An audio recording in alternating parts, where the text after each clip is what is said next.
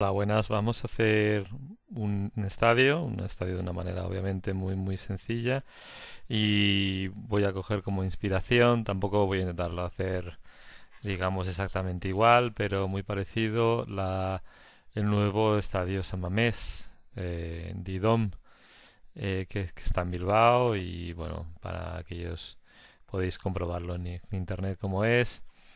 Y bueno, vamos a hacerlo de una manera muy muy sencilla para que veáis hasta qué punto eso está tan bien. eh, funciona de una manera fantástica para, para hacer diseños eh, a corto plazo. Cogemos esto y esto, vamos a, vamos a elevarlo, vamos a cambiar las unidades, está en metros, bien, comprobamos a qué nivel está esto. Mm, sí, 15 está bien. Vale, muy bien. Ahora voy a coger esto y voy a hacerlo más grande. Eh, prácticamente así. Bien. O por otro lado voy a... mm, voy a crear, me voy al nivel uno y voy a decir que es más o menos así. ¿Vale? Entonces esto lo voy a crear una forma vacía. Bien. Me lo llevo para arriba. Perfecto. Ahora voy a coger este y este y voy a crear una forma sólida también. Este quizás lo voy a exagerar un poco y voy a ponerle 30 porque está así como inclinado más o menos. Y ahora me voy a modificar, corte, cogemos cortar geometría, elijo esto y esto y ya tengo esto. Bien, ahora voy a coger estas fachadas, las voy a dividir, voy a hacer lo mismo con estas, voy a dividirlo, eh, perdón, esto y voy a dividirlo. Bien.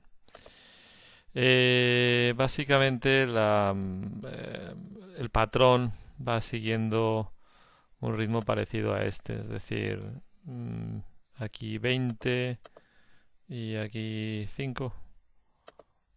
Eh, no, todavía le pondría más. Voy a ponerle aquí menos 4 y aquí 30.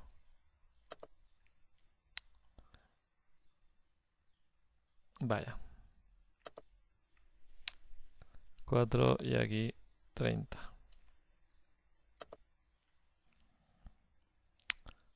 Todavía más le pondría. Vamos a probar 40. Eh, 40. Sí, 40 está bien. Bueno, pues ahora voy a hacer lo mismo con este. Aquí 4 y aquí 40. Bien. Una vez que tengo aquí esto, me voy a ir a, a crear una nueva familia y es una eh, panel de muro cortina métrico basado en patrón. Bien. La forma es más o menos es esta, es decir, es muy muy sencilla. Em, el tema es posicionarse en un punto de estos. Eh, vamos a definir el, plano donde vamos a dibujar y yo voy a trazar aquí una circunferencia que me va a servir de referencia porque el panel está, el punto donde voy a trazar de aquí a aquí es un punto que está en este radio de circunferencia. Entonces para eso voy a coger un punto, este mismo, ¿vale? Y lo podría hacer paramétrico, es decir, podría decir, este punto, por ejemplo, me está diciendo, si yo lo muevo, me está diciendo aquí que estoy cerca de 0. Entonces podría ponerle un parámetro. De momento lo voy a dejar aquí, ¿vale? Y lo que voy a hacer es, voy a coger esto, este, y lo que voy a hacer es crearle un, un spline. Este le voy a decir que se haga de referencia. Bueno, este también, por cierto. Muy bien. Entonces voy a trazar este punto que como veis tiene la misma eh, longitud que este de aquí. Voy a coger este, este,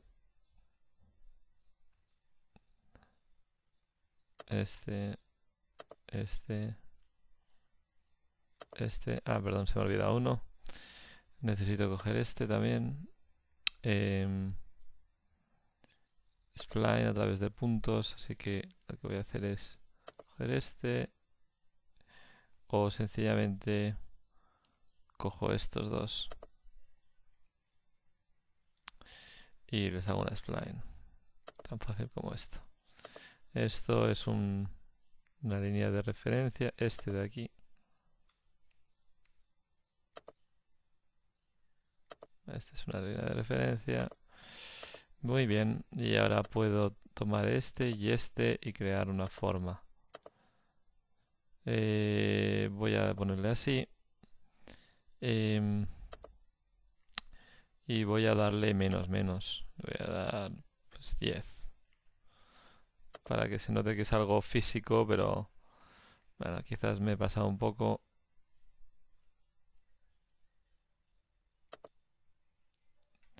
Voy a volver a como estaba antes. Y voy a darle 100 vamos a ver cómo queda. Sí, 100 está bien. Muy bien. En el cargo un proyecto y ahora toco este y voy a colocar bien y voy a hacer lo mismo con este de aquí y muy bien. Bueno pues esto es básicamente el, el diseño del estadio de San Mamés de una manera muy muy tiene una serie de, aperturas y para hacer esas aperturas por ejemplo tiene aquí como una gran ventana pues tan fácil como esto. Nos vamos aquí. Suprimir. Suprimir. Suprimir. Tabulador. Suprimir suprimir. Suprimir.